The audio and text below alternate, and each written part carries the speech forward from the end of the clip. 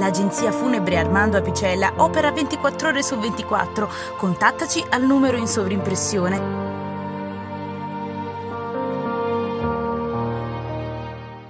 La questura di Salerno ha notificato 14 provvedimenti di daspo urbano nei confronti di altrettanti minorenni responsabili di rissa aggravata, tentato omicidio e danneggiamento, verificatasi a Salerno lo scorso 15 maggio. In quell'occasione numerosi giovani si affrontarono sul lungomare di Salerno all'altezza della spiaggia di Santa Teresa, utilizzando bastoni, noccoliere e coltelli, e durante tale evento venne ferito gravemente un minorenne. Successivamente la rissa proseguì all'interno del McDonald's di via Roma, Nonostante la presenza di numerosi clienti, anche in quella circostanza fu ferita in maniera grave un altro adolescente. Indagini avviate e condotte alla squadra mobile di Salerno, coordinata alla Procura della Repubblica presso il Tribunale dei Minori, consentirono di identificare i partecipanti alla rissa, i quali facevano parte di due gang diverse.